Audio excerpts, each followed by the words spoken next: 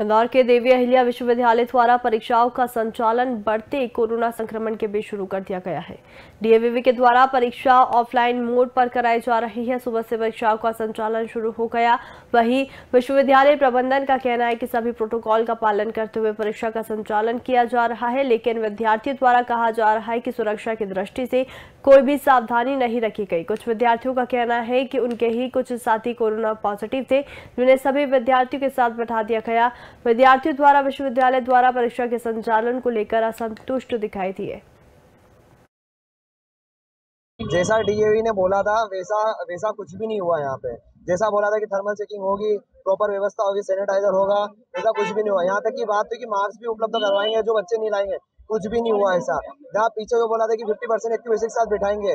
एक बच्चे के एक पीछे बैठा हुआ एक बेंच पे एक बैठा पर बस बीच में जितनी स्पेस थी, वो कुछ भी नहीं थी। यहाँ थर्मल चेकिंग हुई, कुछ भी नहीं हुआ। और हमारे बीच का एक स्टूडेंट पॉजिटिव निकला है।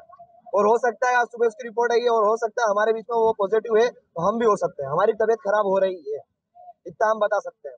क्या मांग रखे? जो मांग रखी थी, उन्होंने मान नहीं रहे। उनको चाहना है कि बच्चे बीमार हो, और ऊपर से इनने हमको बीच में रख रखा है। ना एग्ज़ाम आगे ली, ना पीछे ली, बीच में रख रखा, ना पढ़ाई कर पाए।